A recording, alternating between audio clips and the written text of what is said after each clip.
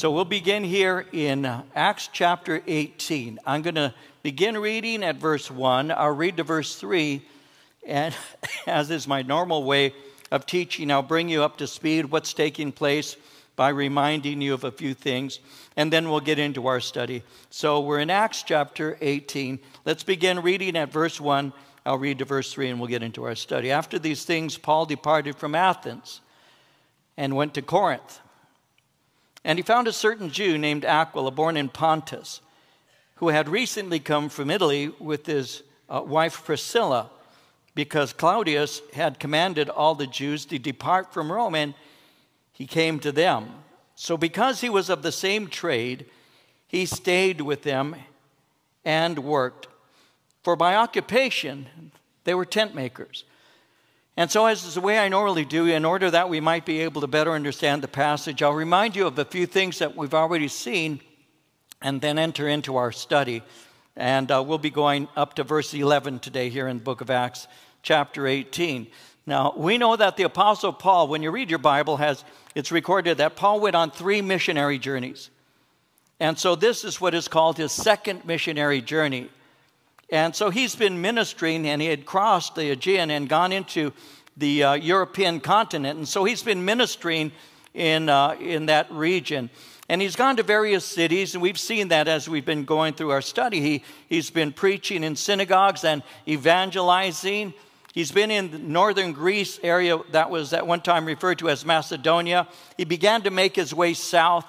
He went and planted churches in Philippi and Thessalonica and a place called Berea. And uh, there were many people who were open to the message of the gospel. But there were many who were resisting, and the unbelieving Jews, as we've seen, have been mounting opposition against him. And Jews from Thessalonica had begun to follow Paul, and they were openly opposing him and creating an uproar. When they created an uproar in Thessalonica, he went down to Berea when they heard he was in Berea, they came and they stirred up the crowds there, and it became intensely dangerous, enough for Paul to be sent further south to the mighty city of Athens. Now, as we saw last time, Athens was given over to idolatry. It was completely over, given over to the worship of false gods. And so he was waiting there for two of his companions, Timothy and Silas, and began to be stirred as he saw that the city was given over to this idolatry. The city was blinded by the lies of the enemy. When he wrote later to the church that he's about to uh, plant, the church here in Corinth, when he wrote later to them in 2 Corinthians chapter 4, verses 3 and 4, he said this. He said, Even if our gospel is veiled, it, it is veiled to those who are perishing. The God of this age has blinded the minds of unbelievers so that they cannot see the light of the gospel that displays the glory of Christ, who's the image of God. He is saying that their, their minds are blinded. When you're sharing the gospel, which I would hope and pray all of us do, when you're sharing the gospel, there are times that you'll see people who are nodding their head in agreement and want to receive what's being said, but there are many times that they will, they will not want anything to do with what you're saying. Well, the Bible says that's because the gospel is veiled to those who are perishing because the God of this world, the enemy, has blinded them. And so Paul has been going to various places and ministering, but some are listening and others are not. Well, he had been commissioned to preach the gospel to Jew as well as to Gentile. In, in Acts 26 18, it, it reads that God had sent him to open their eyes, to turn them from darkness to light, and from the power of Satan to God, so that they may receive forgiveness of sins and a place among those who are sanctified by faith in God. And that's what he was doing. You see, the sight of such spiritual bondage is provoking Paul, and he begins to evangelize. And he went to the synagogue as well as the marketplace, and he began to preach, and it drew the attention of, of the Greeks. And there were certain Greek philosophers, Epicureans, and Stoics, who were listening to him as he was sharing. And, and they became curious, as we've seen, concerning what he has proclaimed. In Acts 17, verse 20, they said, You're bringing some strange things, some bewildering things to our ears. Therefore, we want to know what these things mean. So they take him to a place called Mars Hill. And he stands before them. I pointed out that, that they were on kind of like a, a, little bit above him, in, in seats above him, on a, like a plateau. And and he stood there unintimidated and began to share with these intellectuals. And, and he said to them in a very courteous way, I, can, I see that you're very religious. He's saying, You're very religious. You have these uh, idols everywhere, but your, your faith is not correct. You have made a mistake, the mistake of worshiping creation instead of the Creator. And he points out that God doesn't dwell in temples that are made by man's hand. God cannot be fashioned by man's hands to, like the statues that you have created and all. God isn't limited to a location. He's created everything that exists, and He's not part of creation. He's the creator. He's separated from all created things. And, and He doesn't dwell in man made temples. Why? Because nothing can contain God. Now, creation should cause man to seek for the one who created all things, but instead, of being idolaters. He's saying you should seek to know the true and the living God, the one who's created all things. Now, I've noticed you have an altar here as to what you call your unknown God. Well, I'm here to tell you that the one you worship in ignorance is the one that I proclaim it to you who can save you. You see, this God that you don't know by name, let me share with you. He sent his son Jesus, and he's called all of you to repent. Now, this son, Jesus, the Son of God, well, God raised him from the dead. Now, when they hear of the resurrection, some are mocking. The thought of someone rising from the dead was totally absurd. Others considered what he said, but few listened and responded. So, as we've seen, after sharing with them, Paul is departed from among them, and that brings us to verse 1 in chapter 18. After these things, Paul departed from Athens and he went to Corinth. Now, the small response of the Athenians has provoked Paul to leave the city. There's no reason for him to spend too much time there. There's so many other places to go, so many other places to preach. So he goes further south. Now, we don't know how long he stayed there in Athens. It could have been a month, it could have been longer. Well, he had sent a message to his traveling com- companions, Timothy and Silas, and wanted them to come uh, to him with all speed. They were around 250 miles or so away from Athens. It took time for, for the message to get to them and for, uh, for them to come to him. And so he had opportunity uh, to minister and to leave. And so he's gone now to the city of Corinth. It's about 40 miles southwest of Athens. It's a two day journey. And so he's come now from Athens to Corinth. Let me share a couple of things about Corinth. The city of Corinth was a beautiful harbor city. It was extremely prosperous. They had luxury items in the marketplace Arabian uh, balsam, Egyptian papyrus, ivory from Libya, carpets from Babylon, wool from Lycaonia, chickens from Chino. They had everything. All of this was sold in Corinth. And so it was very prosperous it was a, a city with a, a, lot of merchandise that was being sold and all. Uh, it was also known for what were called the Isthmian Games. We've never really heard of those, but they, were, they rivaled the Olympics. And so they were well known for their games that drew crowds from throughout Greece. Also, it had artists who worked with stone and metal. They had orators, they had philosophers. It was a very luxurious, very rich, very intellectual city but it was also known for sexual degradation. They had what was called the Temple of Aphrodite, and there were a thousand religious prostitutes who nightly seduced the sailors as well as tourists. One commentator said it like this Corinth was one of the most disgusting places in the entire world. It was so well known for its vice that to live like a Corinthian became a proverb. So if somebody said, Man, you're a Corinthian, they were saying you're a pervert. And that's what that word meant. You're living without morals. You, you live in what was called at one time debauchery, licentiousness. You have, no, you have no restrictions to your behavior, you're just twisted. Sexual sin was so acceptable, it became part of the culture, it became part of the fabric of the city. It was so woven into the fabric that it actually began to be one of the sins that infiltrate the church that eventually is birthed as we're going to see the church birthed. But it became a besetting sin in the church there in Corinth. You see, when, when Paul wrote his letters to the Corinthians, you have 1st and 2nd Corinthians. It's interesting to note that when you begin reading 1st Corinthians, you'll read the first nine verses, chapter 1, verses 1 through 9. And it's commendations. It's an introduction. He, he gives a blessing. He, he, Paul, an apostle to the church in Corinth and Grace, Grace be to you, and all of that. He gives this introduction.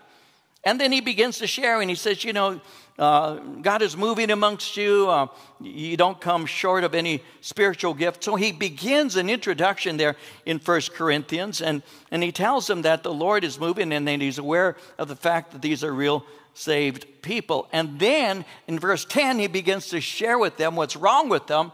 And it takes them all the way to the 16th chapter. So the first nine verses, he commends them. And then the next verses up to chapter 16, he corrects them. There's a problem, he's saying. You have division. There's a problem. You make comparisons between, between Paul and, and Peter and Apollos. And some of you say I'm of Apollos, some say I'm of Peter, some say I'm of Paul, some say I'm uh, uh, of Christ. You're filled with divisions. You, you have sexual immorality. Uh, Paul had to write concerning that in 1 Corinthians chapter 5 verse 1. He said, "It is reported that there's sexual immorality among you and of the kind that even pagans do not tolerate. A man is sleeping with his father's wife." In chapter 6, verse 13 of 1 Corinthians, food is for the stomach, the stomach for food, but God will do away with both of them. Yet the body's not for immorality, but for the Lord, and the Lord is for the body. He goes on in chapter 6, verse 18, and he simply says, Flee immorality. Every other sin that a man commits is outside the body. The immoral man sins against his own body. So he's bringing correction. The sexual sin has entered in and remained and is actually not being dealt with. And, and that's what First Corinthians contains. And so he has to deal with the immorality in the marriages, the idolatry. He had to answer questions concerning the roles of women or the behavior at communion. He had to speak concerning spiritual gifts and the resurrection, even issues related to finances. This was a city uh, that was so corrupt that when the church was birthed, it still had a lot of sin to deal with, even within the church itself. Paul's in Corinth. He's continuing his mission of evangelization. And he's going to plant another church, the Corinthian church. We've already seen him as he has planted the church in Philippi or Thessalonica, as well as in Berea. But now he's planting a church in Corinth. In chapter 18, two churches are birthed that we are, we are familiar with when we uh, read our, Old Te- our New Testament the, the church of Corinth and the church of Ephesus. We're going to see the birth of both of those churches. And so now it says in verse 1 Paul has departed from Athens. He went to Corinth. Now, in verse 2, he found a certain Jew named Aquila, born in Pontus, who had recently come from Italy with his wife Priscilla, because Claudius had commanded all the Jews to depart from Rome, and, and he came to them. And so we see uh, an introduction to a man by the name of Aquila as well as his wife Priscilla. We'll see them again. Now, he was from an area called Pontus, just for a geographic location. If you knew the map of, of uh, we'll say, uh, uh, Turkey, and you went to the north, uh, at the very north uh, is an area called Pontus. And so he was from originally from this place called Pontus in northern Turkey on the coast of the Black Sea. When we're introduced to him here, it isn't know, known if he's already saved or if he came to faith under Paul, it's not stated. We do know that when you look in Acts in chapter 2, verse 9, that it, that verse points out that on Pentecost there were Jews there from Pontus, and it's possible that, that they may have brought him to faith. Now, it says that they, uh, they had recently come from Italy. Uh, Claudius had commanded all the Jews to depart. So the emperor had kicked out both Jew and Christian. You see, Someone wrote that Claudius had expelled the Jews from Rome who were continually making uh, riots, tumults, being moved there into by one named Chrestus. The word Chrestus has also been stated as Christ. So it's possible that what was taking place was the Jews and Christians were having difficulties And the Roman emperor didn't want that in Rome, so he expelled them, and so he left. And so it says um, in verse 2 again Claudius had commanded all the Jews to depart from Rome, and he came to them. So, because he was of the same trade, he stayed with them and worked, for by occupation they were tent makers. And so Paul somehow comes into contact with Aquila and, uh, and begins to stay with him. So Jewish boys would learn their father's trade, even if they were to be rabbis. So Paul had been raised to have a trade. There's a proverb that says, He who does not teach his son a trade teaches him to be a thief. And so Paul was able to work with his hands and he provided for his own needs. And he did so as a tent maker. And this is something, by the way, that he would use to point out as an example to others. When we get to chapter 20, and he's speaking to the elders of the church of Ephesus in, in verse uh, 33 and 34, he says, I have not coveted anyone's silver or gold or clothing. You yourselves know that these hands of mine have supplied my own needs and the needs of my companions. So he says, I have not been a burden to you, but I've been a blessing to you. God has given to me a trade, and He's given to me opportunity to earn my living. And so he's trade, he's working his trade, and he's there and he's doing his ministry. Verse 4 He reasoned in the synagogue every Sabbath and persuaded both Jews and Greeks. So, as true to form, he's been going first to the, to the Jew, he goes to the synagogue, and he reasons with them. It, it, it's interesting how he first takes his message to the religious. They're religious, but they're lost. Now, these are people who have a biblical foundation, something he could refer to. They have a fundamental worldview that he can appeal to as he's preaching. And it's his calling to preach the gospel. And he did it for the Jew and he did it for the Gentile. When he was speaking to the Ephesians in his book, uh, the book of Ephesians, chapter 3, verse 8, he said, To me, who am less than the least of all the saints, this grace was given that I should preach among the Gentiles the unsearchable riches of Christ. So he would speak to the Jew, he spoke to the Greeks, he spoke to the God-fearers, and uh, he's ministering to them. He wants them to know the Lord. Now, verse 5 says, When Silas and Timothy had come from Macedonia, Paul was compelled by the Spirit and testified to the Jews that Jesus is the Christ. I'll spend a few moments with you looking at this. Silas and Timothy had been in Macedonia, but they came back. They were caring for the new believers. They had brought good news to Paul concerning the health of the believers there. In 1 Thessalonians chapter 3 verse 6, Timothy has just now come to us from you and has brought good news about your faith and love. He has told us that you always have pleasant memories of us and that you long to see us, just as we also long to see you. Well, when they're arriving, Paul is constrained. He is compelled, verse 5, by the Spirit. When it speaks of this compelling, let me share a little bit about that. It, it, it literally is, it speaks of being compressed internally. There's an inner pressure that is motivating him to share. The arrival of fellow laborers has encouraged him and is motivating him. He feels compelled.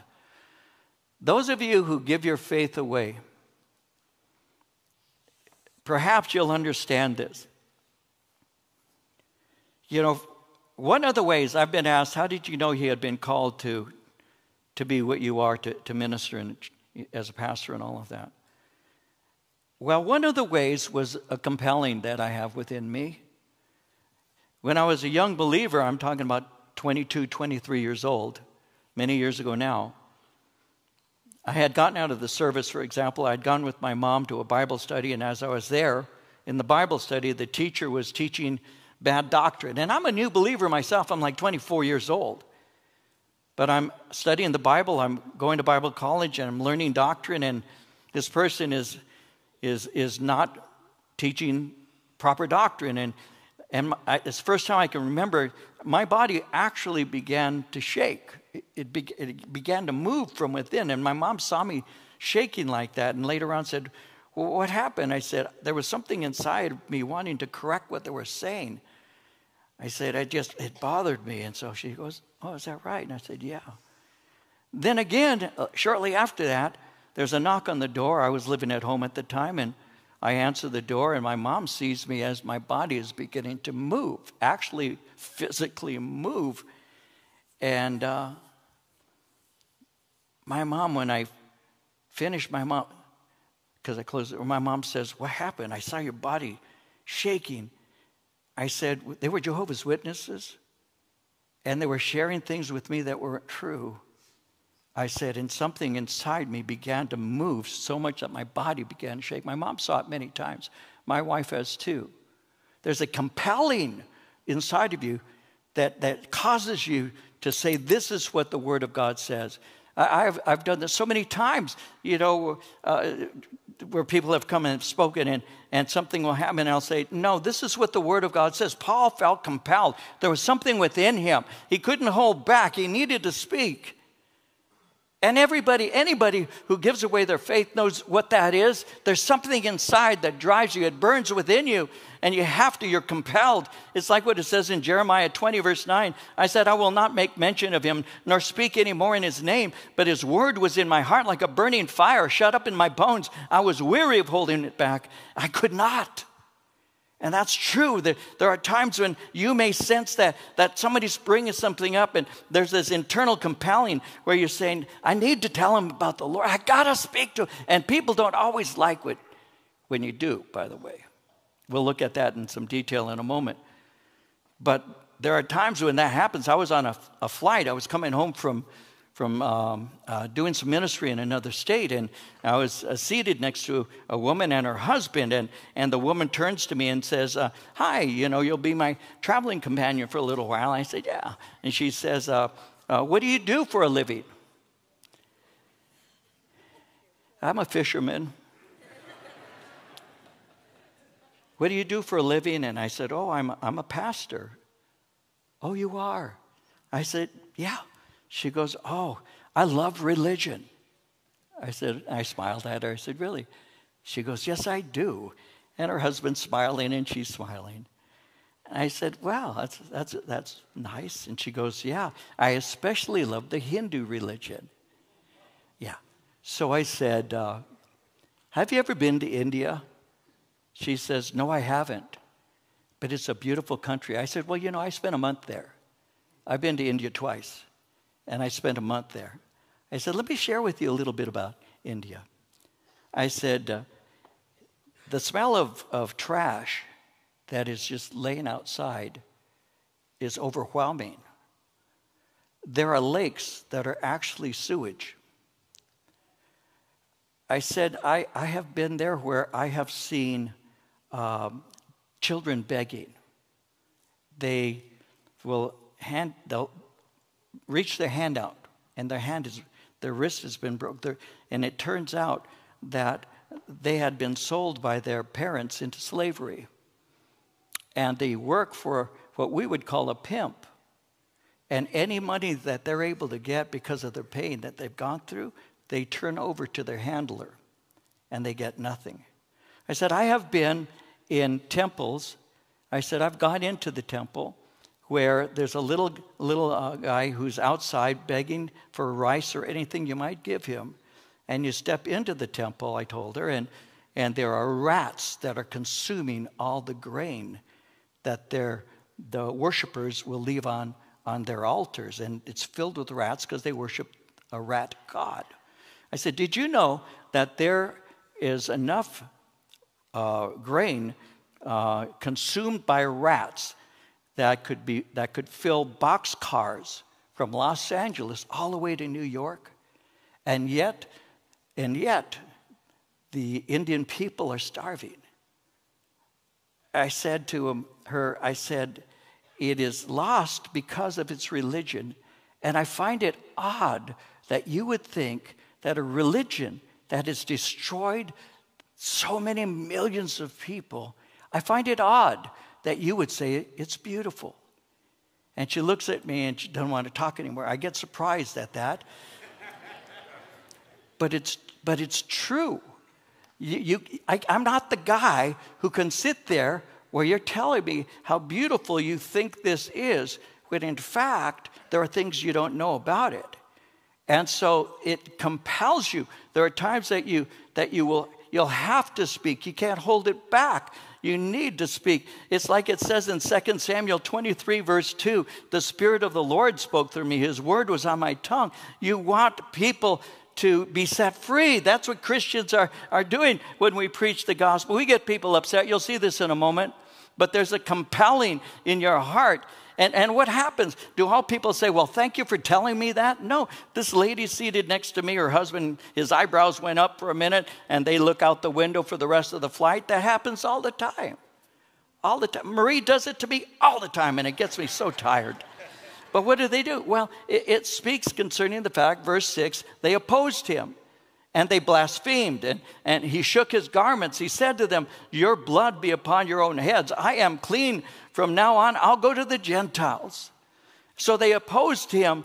The word opposed, it speaks of putting themselves in a warlike order against him. They resisted him. They blasphemed. It means to, to revile, to speak reproachfully of. They were rejecting, they rejected the gospel. They're saying this is worthless, this is unnecessary. We don't need this. All you need to do is believe that there's a God. That's all you really need to do. Americans are very much that way. The whole generation now, people don't see a need. Atheism is growing, and Christianity is rejected, and you know, we don't need this. We do fine on our own. Why are you pushing your religion on us. And then, if you tell them the truth, if you share with them and, and you do so with love and, and with courtesy and respect, and you want to just reason and share, very often they say, This is useless, this is worthless, this isn't needed. Why are you saying this to me? So, what did he do? Well, he, he shook his garments. He said to them, Your blood be upon your own head. That's similar to what Jesus said in, in Matthew 10 14 about shaking the dust off of your feet. It, it's a visible act of protest, it's a rejection. And he moves on. Notice how he says in, in verse 6 Your blood be upon your own heads. You are responsible for, for what happens to you.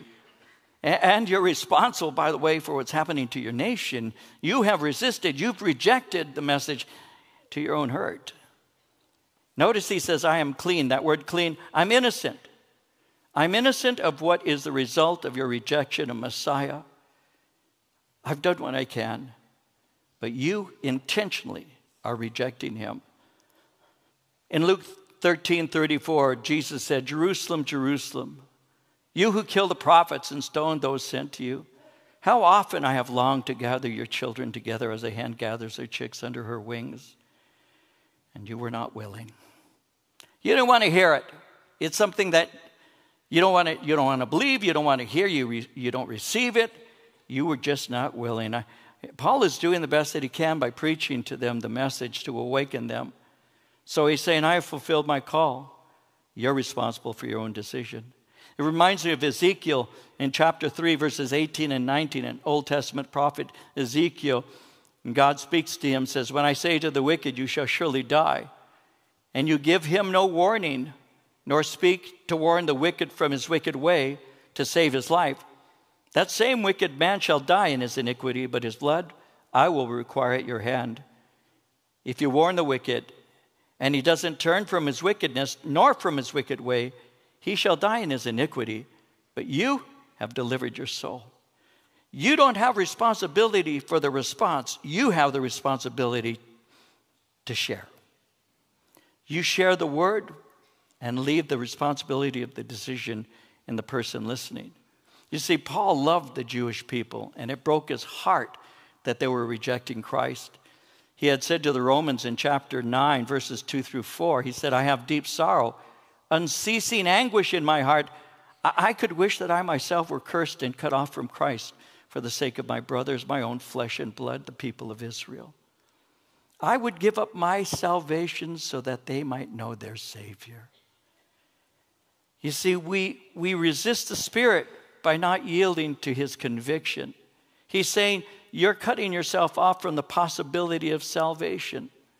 There are people who hear the message of the gospel, they may hear this message. And, and they, they know within their heart these things are true, these things make sense. And yet they say, But I've got other things to do. I, I remember the first time I heard the gospel, I was at a beach. I was at Newport Beach. I was 16 years old. The first time I remember.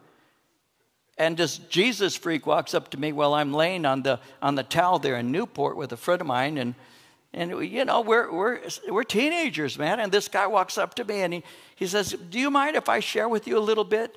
And I said, Fine. I mean, you know, friendly people going to the beach are friendly and all of that. I thought, What do you want to talk about? Well, I want to share with you about Jesus Christ. And I remember looking at him and I thought, I'm already a Christian. First, I thought because I had been raised in a particular way. But second, this is the truth. This is what I thought. I thought, I'm not going to follow after Jesus now. Look at all these girls in bikinis. Are you crazy? Why would I yield up such a harvest? I got a lot, I, this is the word I said, I have a lot of sinning to do. I figured that when I got older, I'd be too old to sin. Now I'll get right with God. I really did. That's how I thought at 16 up to the age of 20. And so I was not yielding to the Spirit. I wouldn't listen. To, I was respectful. I didn't want to argue with them. I let them say his piece and all, but no, I'm not going to do that. Well, he's saying here that they're cutting themselves off from the possibility of salvation. It's, it says in Hebrews 3 7 and 8, the, the Holy Ghost says, Today, if you hear his voice, harden not your heart. One of the things that happen as you grow older, some of you can say this, is instead of becoming tender, you become more hardened. When you were young, you might have been more open to hearing. But as you live a life of sin and it becomes your life, you harden yourself even more. Well, sometimes we move on. Sometimes we have to leave people in the hands of the Lord, and that's what's taking place. Verse 7 He departed from there entered the house of a certain man named Justus, one who worshiped God, whose house was next door to the synagogue. Now, Justus is a worshiper of God. He's a Gentile, and he lives next door to the synagogue. He had just said he'd no longer concentrate uh, on the Corinthian Jews, but instead of preaching in the synagogue, he's just moving his ministry next door to it. And verse 8 says, Crispus, the ruler of the synagogue, you all know Crispus, by the way. He's the one who invented Rice Krispies. But anyway, Crispus. I'm sorry. Crispus, the ruler of the synagogue, believed on the Lord with all his household, and many of the Corinthians, hearing, believed and were baptized. Now, Crispus is like the Bereans. He was what you would call noble minded. He listened and as he listened, the Spirit of God convicted him and he believed. And, and like Cornelius, we had seen earlier, he brought his family and household to faith in Jesus Christ. It says in verse 8 many of the Corinthians, hearing, believed and were baptized. So, in the midst of the corruption and perversity, God is raising up a believing community. And we're seeing the birth of the church of Corinth. Now, as this takes place, verse 9, the Lord spoke to Paul in in the night by a vision. Do not be afraid, but speak. Do not keep silent, for I am with you. No one will attack you to hurt you, for I have many people in this city. I want to look at that for a moment. Do not be afraid, speak. Do not keep silent. Paul is seeing many people come to faith in Christ, but the opposition is growing. People are doing whatever is necessary to silence him. And even the great apostle became afraid, feeling f- failure, constant pressure. Corinthians had been won to Christ, but not without cost to Paul. The burden and the pressure he felt could lead to a sense of fatigue and even fear. There's a constant pressure. The resistance is continuous. The intellectual elites are rejecting Jesus, and the Jews are antagonistic. The constant anger, the constant hostility could begin to cause him to wonder if they're going to kill him. And under such constant pressure, the Lord needs to comfort him. He said in 2 Corinthians chapter 7 verse 5, indeed, when we came to Macedonia, our bodies had no rest. We were troubled on every side. Outside were conflicts, inside were fears. Hebrews 13, 5 and 6. Keep your lives free from the love of money. Be content with what you have because God has said, Never will I leave you, never will I forsake you. So we say with confidence, The Lord is my helper. I will not be afraid. What can man do to me? Paul needed the strength and he needed the comfort of the Lord. And the same strength and the same comfort is available to us. Psalm 61 2 says, From the ends of the earth I call you. I call as my heart grows faint. Lead me to the rock that is higher than I. Do not be afraid, the Lord says. Speak. Don't keep silent. I am with you. It reminds me of what God said to the prophet Jeremiah in chapter 1 of Jeremiah, verses 6 through 8. I said, Lord God, behold, I cannot speak, I'm a youth. But the Lord said to me, Do not say I'm a youth, for you shall go to, to all to whom I send you. Whatever I command you, you shall speak. Do not be afraid of their faces. I am with you to deliver you. Paul could preach with conviction. God was there protecting him. Even though he experienced fear, God had given him confidence. When you preach the word, there will be those who not only reject you, but there will be those who they're really rejecting the Lord, but they're going to reject. But they'll be there. There will be those who intimidate and can cause you to take a step back. I gave a study. I was sharing concerning husband's role in marriage many years ago now.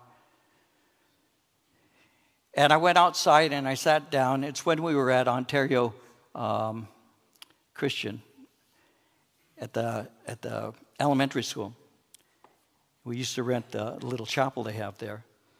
And I went outside and I sat down, and this, this guy, uh, who was a lot bigger than me, came and stood with his hands kind of on his hips and leaned over. I was by myself sitting down on a bench. And he says, I just want to ask you a question. And it's really threatening. And I said, Really? And what is that?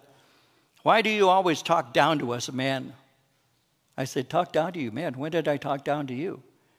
And he's like, you know, towering over me. And he goes, Because you say things to us and you're calling us failures. And I said, What do you mean? He goes, like today, the message you spoke today, and he's very angry at me, and I'm thinking he's gonna, he's gonna do something.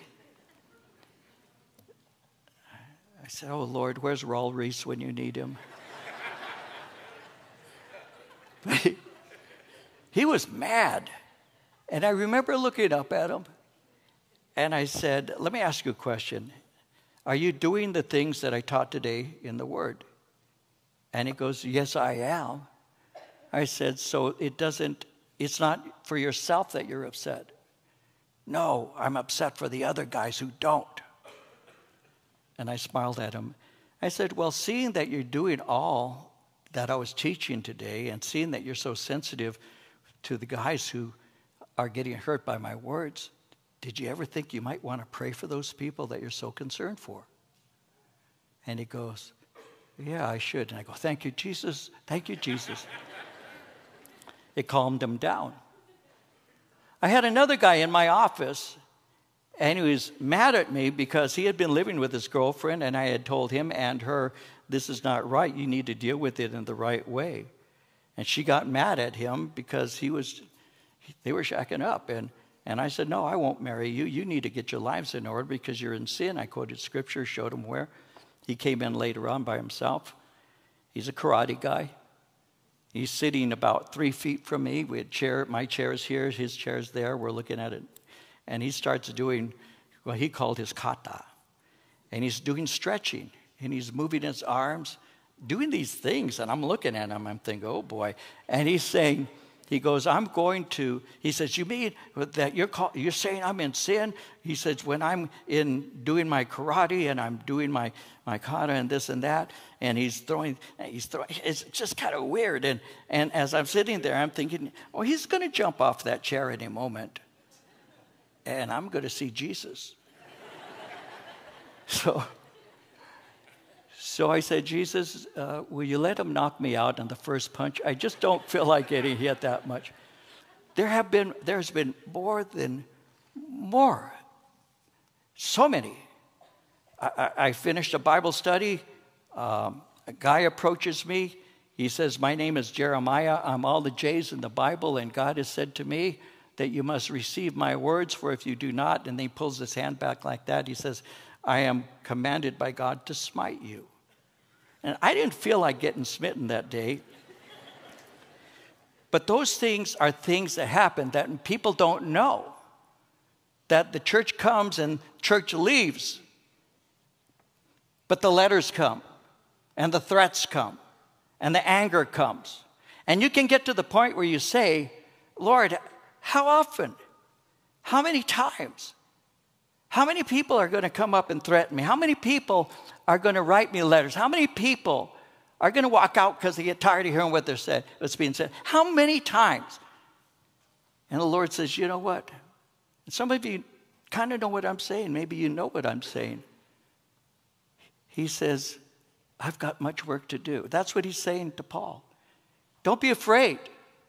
Because not everybody wants to hear. A lot of people get angry. A lot of people get mad. People will threaten you. A police officer told me here in Chino, he said, We've been assigned to have a, anytime we see your car, we have been assigned to follow you because you are a hate speaker in Chino and you have death threats. And I already knew that because one day I shared and I said, you know, somebody called the church and said, uh, he better watch his back, I'm going to get him. You get death threats. It's not what it appears to be sometimes, and you can get tired. You can get tired. And you can say, Lord, what am I to do? And God says to him, Don't be afraid. Speak up. I have many people here. And that's what Paul is being told. He's gone through so much. Your heart goes out to this man. He's been stoned to the point of death. They thought he died. He's been savagely beaten with rods. His poor broken body he travels with such intensity. He goes so many places only to be confronted by the hate and the anger where people are following him wherever he goes, hounding him, causing problems. And he says, Father, I'm sure in his prayer life he's saying, Lord, what do you, what do you have for me to do? And, and the Lord speaks, Do not be afraid. Speak. Do not keep silent. I'm with you. No one will attack you to hurt you. He's been hurt. Sometimes we look at him and we think, what a superstar. And indeed, he was amazing. There'll never be another like him. But he was a man. And there were times when he was just tired. And God said, I'm giving you relief. You've been traveling and traveling and traveling and you can't even rest. You're in Athens. You see an entire city given over to idolatry. You can't even rest. You have to stand up. There's a burning within your heart. You have to speak. You've paid a price, but no one's going to harm you, Paul.